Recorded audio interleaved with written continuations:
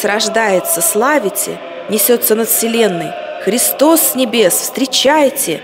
Весь мир воспевает славу Творца. Ангельские силы и человеческий род вместе прославляют того, чья любовь не имеет границ.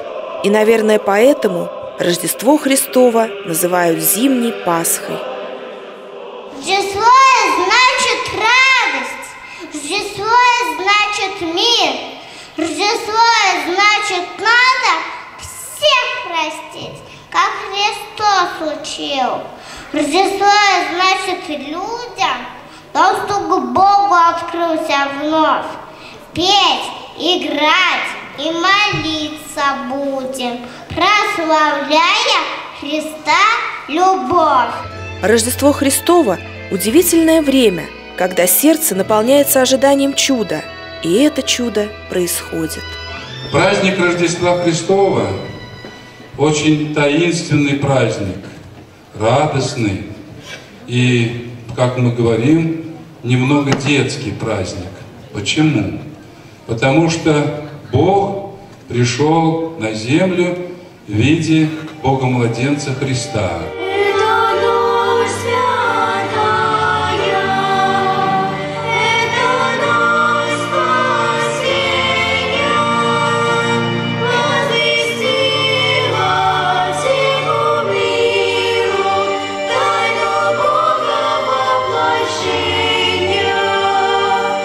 Сегодня православное Рождество – великий, популярный и почитаемый православными россиянами праздник. С каждым годом смысл этого светлого праздника понимает все большее количество людей, а вместе с этим возвращаются и утраченные традиции. И пусть свет Вифлеемской звезды указывает нам истинный путь в нашей жизни, чтобы мы не теряли ориентиров, а ориентиры для нас должны быть духовно-нравственные. Традиционно в эти зимние праздники в городе проходит областной фестиваль детского и юношеского творчества «Вифлеемская звезда», организованный некоммерческим фондом «Детский епархиальный образовательный центр» и Дворцом культуры Тольятти. Все, что делается, это делается для детей, для них, и поэтому как-то вот мы стараемся своими силами, то, что можем сами, то, что может помочь где-то Министерство образования, и городская дума, и, в общем, все, кто может, помогает, а мы как бы сосредотачиваемся на этом и помогаем нашим детям. Соорганизаторы фестиваля «Вифлеемская звезда» благочиние Центрального округа Тольятти, некоммерческое партнерство «Русский культурный центр Держава», некоммерческий фонд «Новое поколение», детский сад номер 5 «Филиппок», школа номер 56, Институт финансов, экономики и управления Тольяттинского государственного университета, детская газета «Ставроша» и ее редактор Елена Потяшина, постоянная ведущая детских православных фестивалей. Спасибо вам за ваш труд, за ваш подарок к, ко дню рождения младенца Христа. Всего вам самого доброго, успехов во всех делах и благих начинаниях. Целью фестиваля организаторы предусматривают пропаганду русской национальной культуры, народных традиций, привлечение детей и юношества к духовному, культурному и историческому наследию русского народа.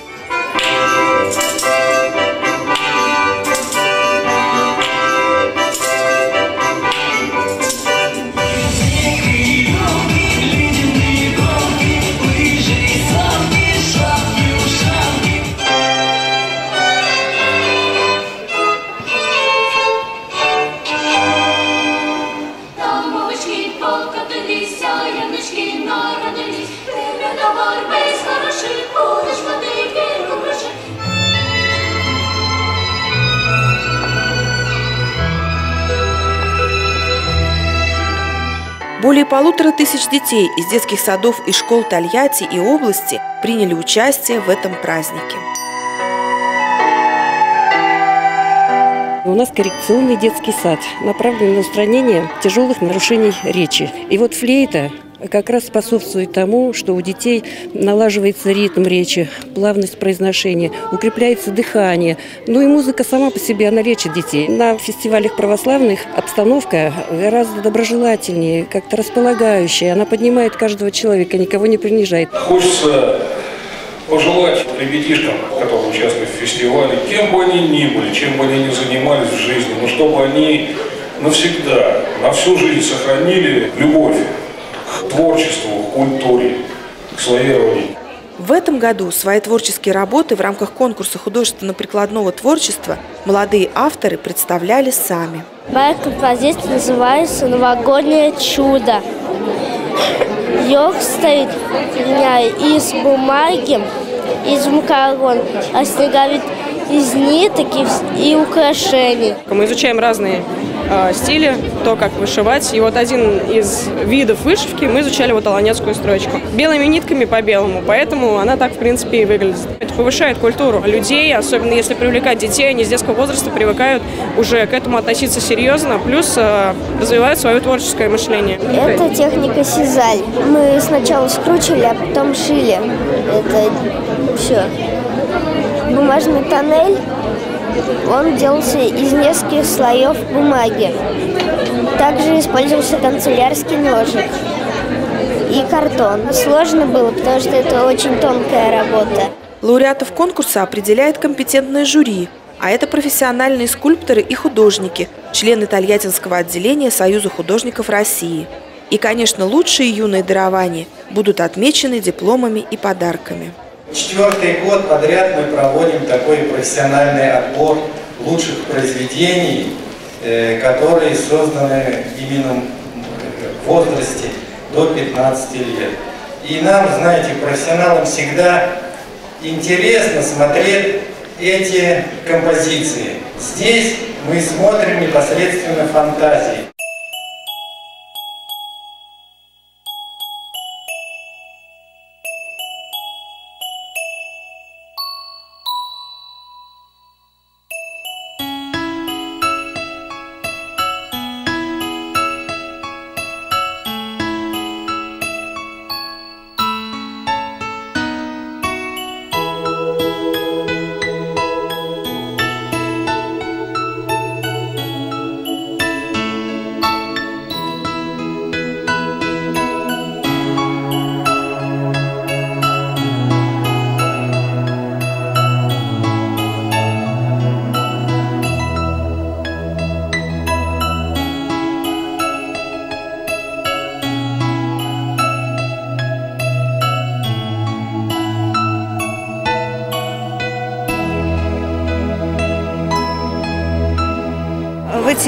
Морозные, в то же время светлые, такие искристые дни у нас происходит настоящее маленькое чудо. Дети, взрослые вместе, соприкоснувшись с творчеством, представляют свои достижения и э, желают каких-то побед. Э, наверное, сегодня осуществлятся чьи-то мечты.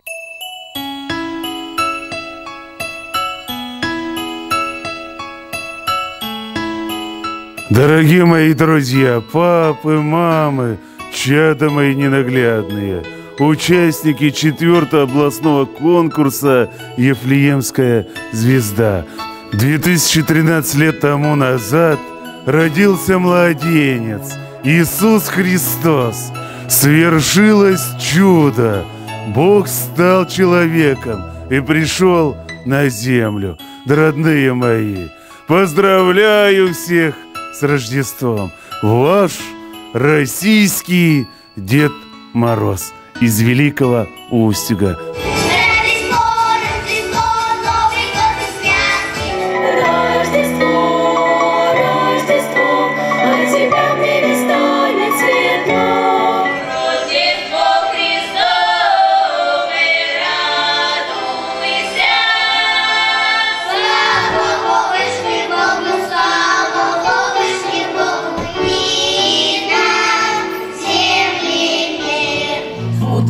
Миг закрыв глаза В этой точке начала я Акцент делается на веру человека. Вот, и праздник все-таки как православный.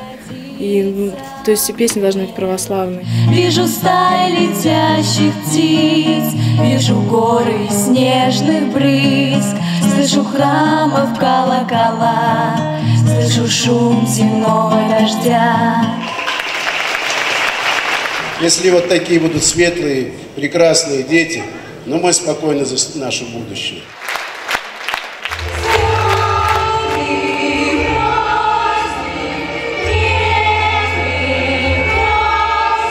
Такой фестиваль помогает прежде всего понять, что ты русский человек. Обычно фестивали, они веселые, просто чему-то посвящены. А это посвящено своим верованиям. Богу и христианству. Замечательный фестиваль, и мы уже дважды участвуем в этом фестивале. И, конечно, это несет духовность. Мы э, берем репертуар, песни, прославляющие Рождество, прославляющие Бога. Естественно, это высоконравственное исполнение. Заряжаешься духовно, и, в общем-то, видишь, что молодежи, которая тянется к светлому, очень много.